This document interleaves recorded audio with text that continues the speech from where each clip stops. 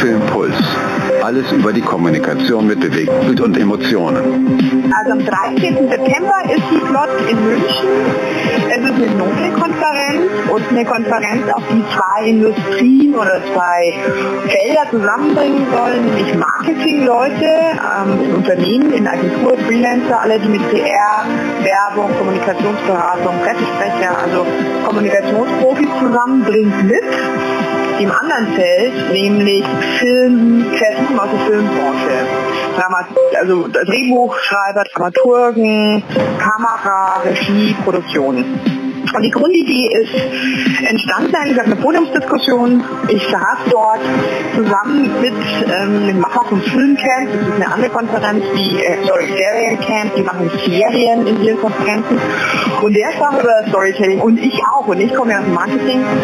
Und danach meinte der so, sag mal, wieso reden wir eigentlich nicht miteinander? Beide Industrien sprechen ja massiv von Storytelling und ähm, die sprechen aber eigentlich gar nicht miteinander. Das stimmt ja auch, Filmleute treffen sich bei den Filmfestivals und die Werber, PR-Leute treffen sich auf ihren Konferenzen, Cannes Lions, auch da ist was ziemlich sehr schön in Cannes. Also im Mai ist immer das große Filmfestival. Und dann so im Juni, also vier Wochen später, bauen dann die Werber ihre ganzen Sachen neu auf und machen ihr eigenes Festival.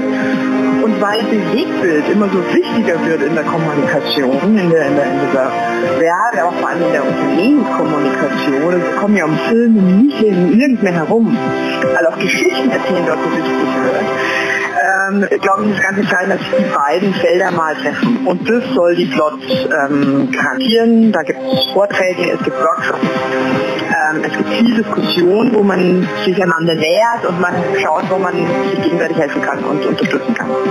Ich bin eine von zwei Kuratoren sozusagen. Gerhard Meyer kommt von der Filmseite, er ist eben Macher des Seriencamps. Ich war 25 Jahre lang in der PR-Agentur, Geschäftsführerin, ähm, Creative Director ähm, und betreut da quasi jetzt alles Inhaltliche, was von der Marketingseite kommt. Zum Beispiel so ein Thema, ähm, ein Panel, das heißt, wo kommen die guten Ideen her? Weil viele Unternehmen, wenn ich mit denen zusammenarbeite, stellen meistens die gleiche Frage, so wie kommen wir überhaupt auf Stoff für, die, für Geschichten? Wo kommen die Geschichten eigentlich her? Manche, glaube ich, stellen sich das so ein bisschen wie so ein Baukartenprinzip vor, so wie man halt mit Unternehmensberatern, die oft ja auch mit ihrem einen Modell kommen. So ist es aber bei Geschichten nicht. Es gibt ganz unterschiedliche Ansätze und auf dem Panel sitzen fünf Profis, dort sitzt ein Drehbuchautor, dort sitzt ein Markenprofi, also der Marken baut, dort sitzt ein Narrationsforscher, der von Unternehmenskommunikation kommt, sind Dokumentarfilme, ein Journalist und alle fünf erzählen aus ihrer Perspektive, wie sie Geschichten finden. Und dann werden wir ein kleines Briefing von der Firma haben, die also eine Kommunikationsaufgabe hat und diese fünf also erzählen mal, wie sie jetzt da rangehen würden. Um mal zu demonstrieren, wie man auf Geschichten überhaupt kommt. Was in der Filmwelt oder für einen Drehbuchautor völlig eine Selbstverständlichkeit ist, ähm, das ist für, für Unternehmenskommunikatoren ähm, schon, schon ein neues Feld. Weil die kommen ja aus einer Ankündigungskommunikation, also immer ein neues Produkt, neues Projekt, neues CEO, dann wissen die, ah, jetzt habe ich einen Anlass, jetzt habe Stoff zur Kommunikation. Storytelling funktioniert aber nicht nur Ankündigungskommunikation, sondern arbeitet ja ganz anders. Und sowas demonstrieren wir dort und das ist zum Beispiel meine Aufgabe, diese Sichtweise von Werbe- oder Marketingleuten reinzutragen. Wenn der Gerhard, Gerhard Meyer, der kommt aus der Film und bringt ähm, und der bringt eben diese Sichtweise rein. Bei dem heißt ein Thema Land ohne Storyteller, können wir Deutsche überhaupt gut Geschichte erzählen? Oder sind wir dann nicht viel mehr gute Autobauer, aber wir können nicht darüber erzählen? Was viele ähm, Ideen kommen aus den USA und werden meistens ja also im deutschsprachigen Raum nur kopiert. Ähm, also das ist so ein bisschen dessen Sicht. Also witzigerweise ist es aber eine genaue Diskussion, die es in der Werbung auch gibt. Die ganzen Awards, wenn man auf die Awardshows schaut, ganz viele Amis gewinnen dort, viele Skandinavier gewinnen dort, sind genau die zwei Kreativzentren in der Werbewelt, die aber auch in der Filmwelt ganz stark beobachtet werden. Viele tolle Ideen, Filmideen kommen ja auch aus Skandinavien.